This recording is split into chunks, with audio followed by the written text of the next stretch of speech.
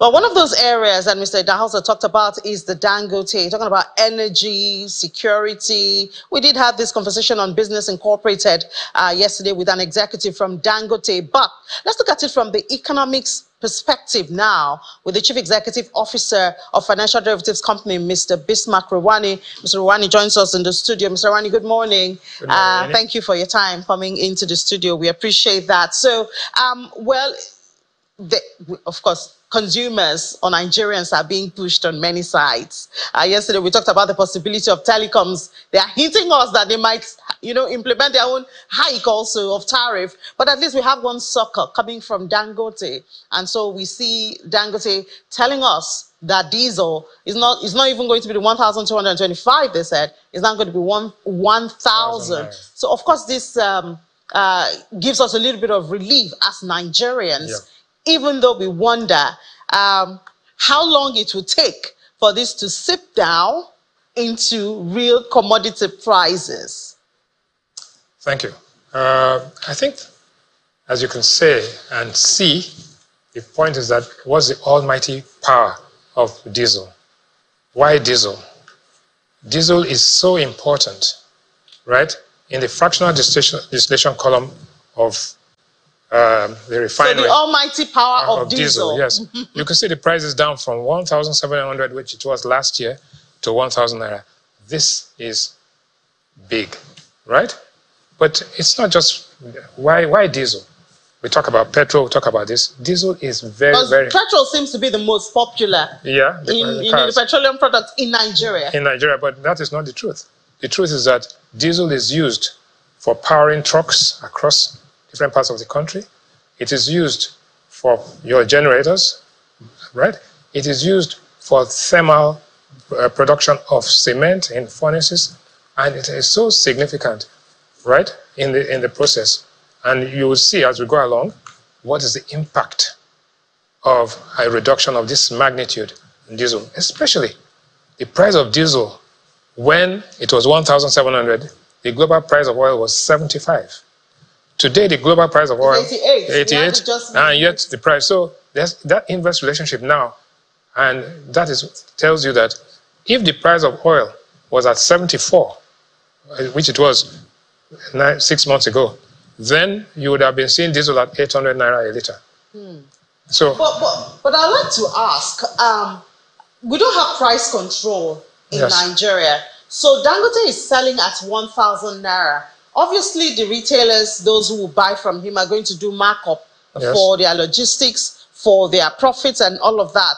Uh, is there anything to stop them from still exploiting consumers? No, there is, because the supply.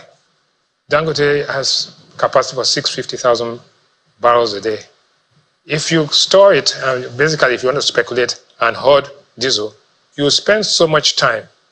You spend a lot of money for hoarding, right? So it doesn't, it doesn't work that way because the cost of storing it become much more than your margin you make and you'll be speculating. So if you speculate that the price of oil is going to go back up and then you're storing it, no, you're going to lose. Mm. And you can see that is where the diesel price has gone all the way up and now it's down this way. Yeah. Now all the way this way. And then we see it's obviously connected to headline inflation. Headline inflation.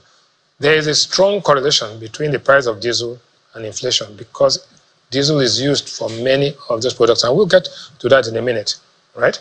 But the reality is that let us take, for example, the, a loaf of bread. A loaf of bread is today costing 1,400 on this loaf of bread, okay. right? Diesel accounts for 25% of the cost of production for bakeries because once you start, once you start the oven, if you're using NEPA or whatever you, if, if there's a power cut, the dough, you lose everything. So once you want to start the oven, you put on your, all your generators on, and this drives it. And based on this configuration, you will see that the price of bread by the end of next month will be down to 1,200. Because Can we hold you to that, Mr. Rewane? theoretically, yes.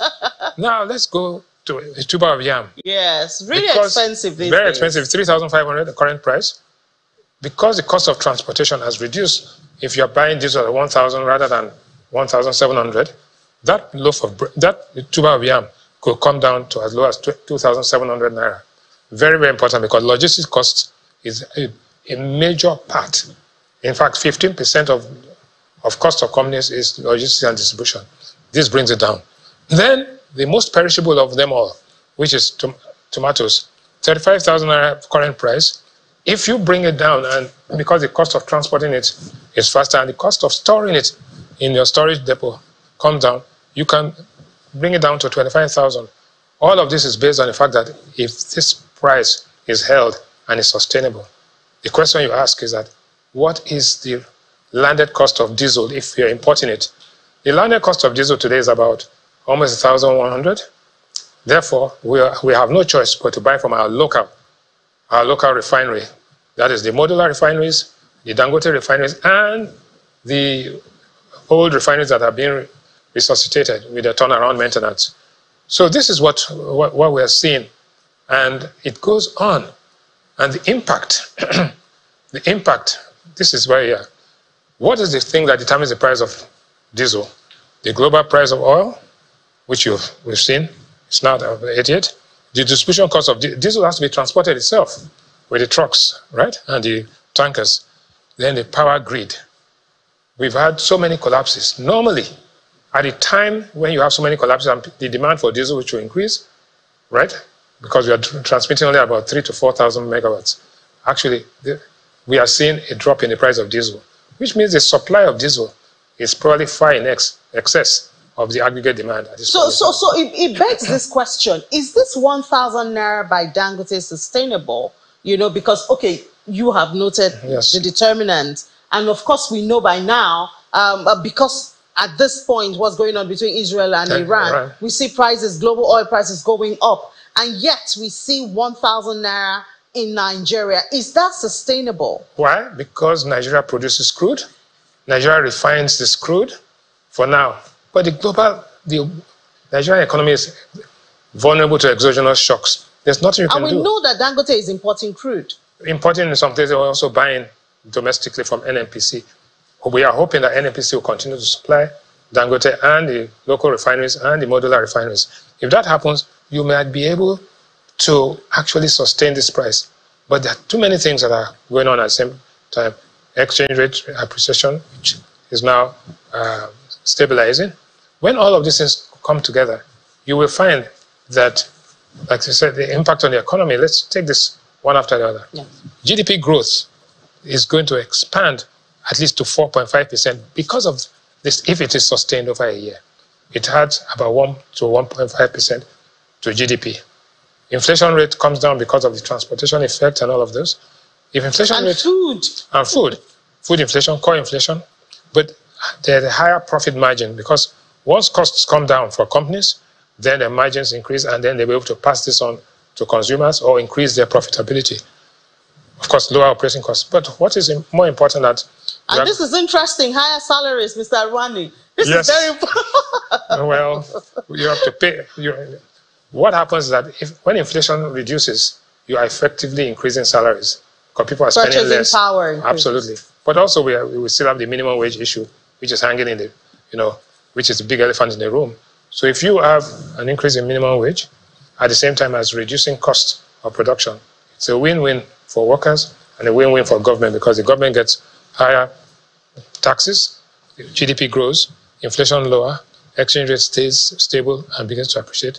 Um, yeah, Mr. Mr. Ryan, let's deviate a bit. I saw um, a story uh, on Bloomberg that Nigeria is going to be the fourth largest economy. We used to be the first. Um, this, I mean, talking about this GDP, that we're going to be the fourth now because of uh, devaluation. naira, devaluation, and all of that. And, yeah. obviously, that that is uh, heartbreaking.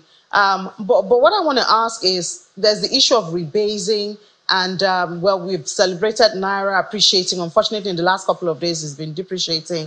Do you see us escaping that? No, definitely. That that figure is for December 2023.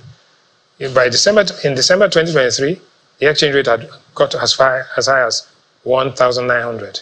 Now that exchange rate has appreciated to about 1,100. Yeah, now, therefore, if you take the position as of December, that could be true.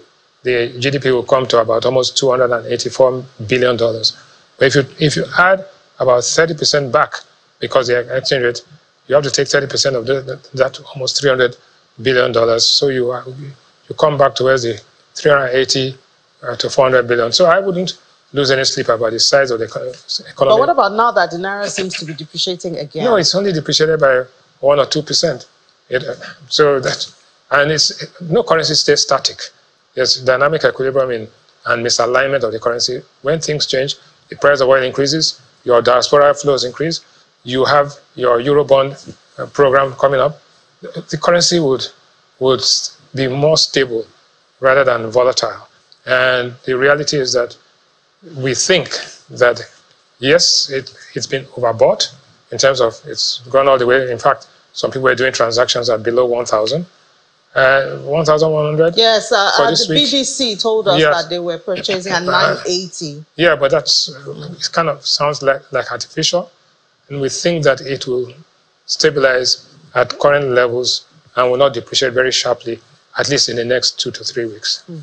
So tell us, um, uh, back to 1,000 naira, uh, how much do uh, you you have a company you yes, you, you, you purchase in recent times since um, um, Dangote started the 1,000 naira thing? have you have you bought uh, diesel? How yeah, much? I bought diesel, but when I tried to buy diesel, the guy sold it about 1,240.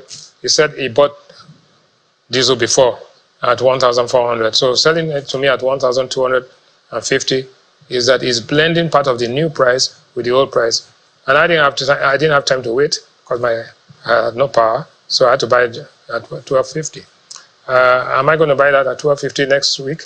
No, obviously. As the price comes down and the Dangote supply gets into the market, we begin to bring down it, the average cost. It's not just the marginal cost. The average cost of the diesel in the tank, which he has bought, right, will now go down. But the question is that when the price of diesel went up, they sold the old stock at the new price. Exactly. Now because they the said they wanted to prepare for restocking. Yeah. Now that the price of diesel has come down, they are selling the old stock at the old price and are not selling the new stock at the new price. So, but again, is it a Nigerian thing? Is it, well, no. Consumers, in theory, the consumer is always a king. In reality, in Nigeria, consumer is probably the slave. Unfortunately.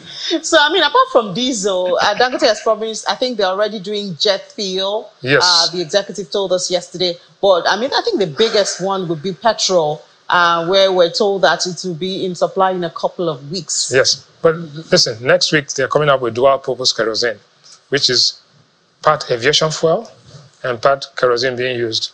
But also, you know, because the price of kerosene is likely to decline, you've seen the price of cooking gas also begin to drop. So these things have a, a pull effect, on, you know, and it pulls all those prices in the same direction. So what are you going to see at the end of the day? Core inflation, which is more structural, will be a bit sticky. Food inflation, which depends on movement of goods, will begin to decline. And the non-food basket begins to decline. However, you know that the price of diesel is very, very important for the base stations of the telecom, teleco, telcos. So there are at least almost 40 to 50,000 base stations in the country, right? And those base stations run on, diesel. they have three generators in each base station. They run on diesel. If the price of diesel has come down from 1,700 to 1,000, it means the cost of running those base stations will drop automatically.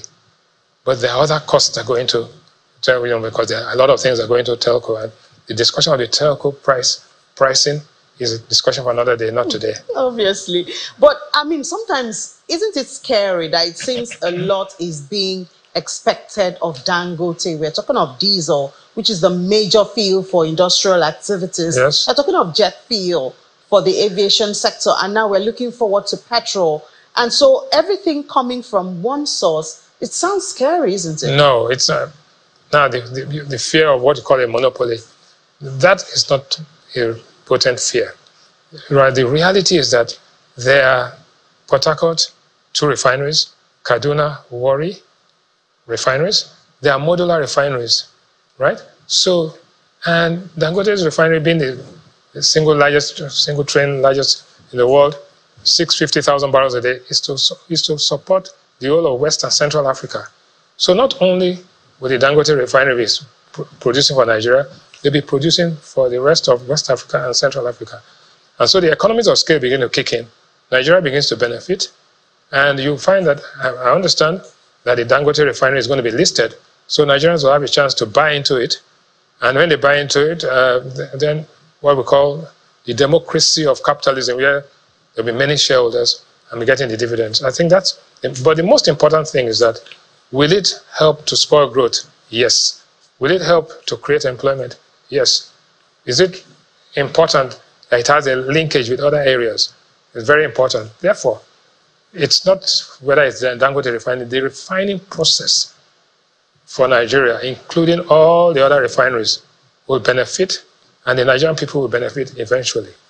I think that's that's it. That's the message that bringing down the price of diesel, if it is sustainable and it's maintained that way, will help to bring down the cost of doing business in Nigeria and the profitability of companies that are operating all over the country. Yeah, well, thank you so much, Mr. Rewane. I think even the president of LCC has said, I mean, governments and people of Nigeria should support Dangote and, you know, people like uh, Airpeace, you know, because these are domestic entrepreneurs feeding. But even international airlines are going to be refueling in Nigeria because the price of aviation fuel here will be lower than refueling in other locations. So. Sorry.